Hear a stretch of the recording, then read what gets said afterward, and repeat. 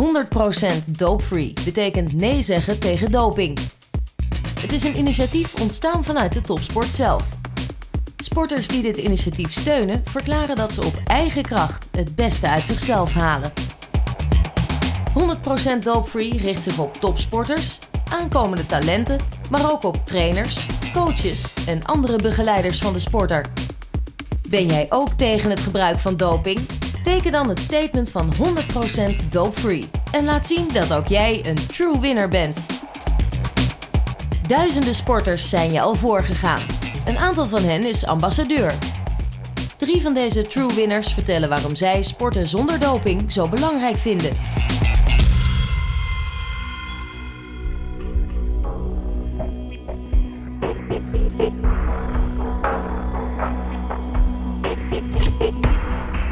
Turner Epke Zonderland won in 2007 brons op het EK turnen. Een jaar later behaalde hij goud bij de wereldbekerfinale. In datzelfde jaar werd hij zevende op de Olympische Spelen in Beijing. Sport betekent voor mij in eerste instantie uh, plezier. Uh, dat is natuurlijk de reden waarom ik uiteindelijk uh, ermee ben begonnen. Maar ja, de laatste jaren gaat het internationaal steeds beter en wordt het ook steeds serieuzer. En nu merk ik ook dat het gewoon een, een ja, een manier is om grenzen te verleggen en uh, ja, doelen te stellen om die uiteindelijk te halen.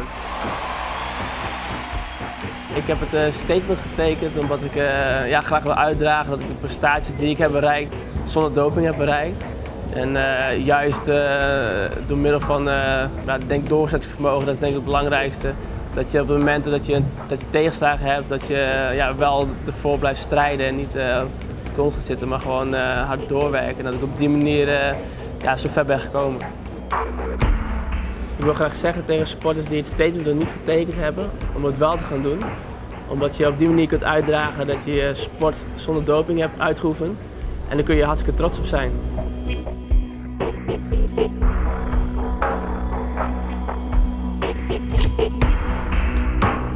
Roeister Femke Dekker roeide drie maal op de Olympische Spelen.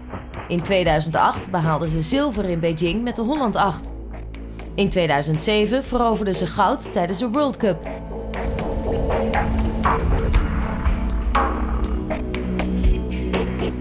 Sport is eigenlijk mijn hele leven.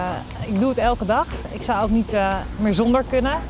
Buiten zijn, bewegen uh, en over de hele wereld reizen. Ik ben zelf tegen doping in de sport. En ik heb er ook last van. Want tegenwoordig zie doping en sport zijn twee woorden die in één zin worden gebruikt. En daarom vind ik het van belang om er vooruit te komen dat ik 100% doopvrij ben. Ja, in het roeien hebben we ook dopingcontroles. En zelf heb ik er ongeveer ook acht per jaar. Ondanks dat een dopingcontrole vaak op een niet gepast moment uitkomt en veel tijd kost, is het wel belangrijk dat ze er zijn. Om de positieve mensen eruit te vissen, maar ook om te laten zien dat heel veel mensen geen doping gebruiken.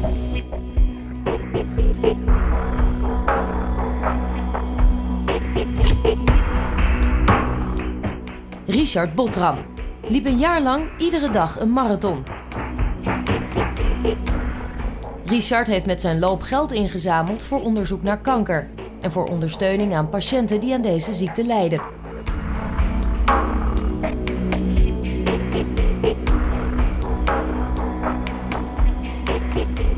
Nou, ik heb nooit overwogen om doping te gebruiken. Het was zelfs zo dat ik in mijn geval mezelf aangemeld had bij de Nederlandse dopingautoriteit, omdat het geen wedstrijd was en geen recordpoging. Ik liep iedere dag een marathon en er wordt gezegd 2 tot 3 marathons is het maximale wat je per jaar kunt lopen. En als je die grens dan met het honderdvoudige weet te doorbreken, dan geeft het wel aan dat een mens veel meer kan, op eigen kracht. Bezieling en toewijding zijn twee woorden die helemaal op mijn lijf toegesneden zijn. Omdat ik vind dat bezieling en toewijding de basis zijn om een mooie sportprestatie te kunnen leveren. En heel erg inspirerend te kunnen werken voor anderen en creatief te kunnen zijn. Doping maakt de sport helemaal kapot. Uiteindelijk is het een race tegen jezelf en je houdt jezelf alleen maar voor de gek. Ik heb het statement getekend omdat ik als sporter het ontzettend belangrijk vind om 100% doopvrij te ondersteunen en te laten zien dat een sporter op eigen kracht veel meer kan.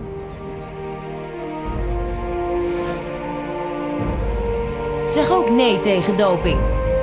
Sluit je aan bij 100% Dope Free en draag de gouden True Winner armband. De ambassadeurs en vele andere sporters zijn je al voorgegaan.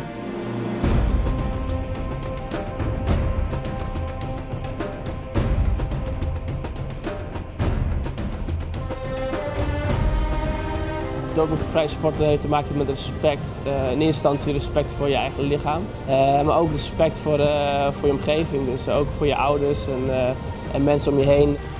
Als je een echte true winner bent, zorg je er ook voor dat je het statement ondertekent en dat je met ons samen sterk maakt voor een dopingvrije sport.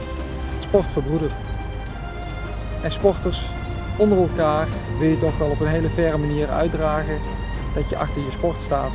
En daarbij kan ik me helemaal niet voorstellen dat ik eigen lichaam zou verruineren door het gebruik van doping.